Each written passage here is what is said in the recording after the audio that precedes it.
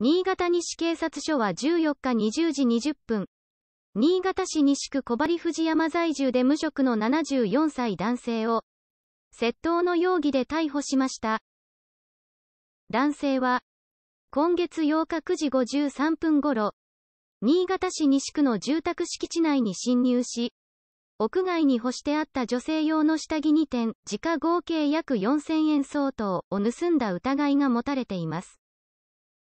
盗まれたことに気づいた被害者が警察に被害届を出し、警察が捜査を進め、証拠を集めた結果、男性を割り出しました。男性は被害者との面識はないとのことです。男性は、間違いありません、と容疑を認めています。